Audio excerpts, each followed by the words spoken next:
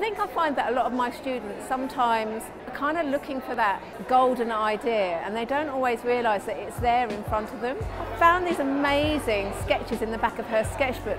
Anyway, I kind of went up to her and I said, Michelle, what are these? And she went, oh, I'm really sorry, miss. I don't mean to draw in the back of my sketchbook. I went, absolutely not. These are absolutely amazing. Because what I kind of discovered was on her kind of hour and a half journey to work of two buses and a train, she was sitting down and idling her time away by drawing what was around her. And then from that, we kind of developed a whole sketchbook worth of her, her doodles.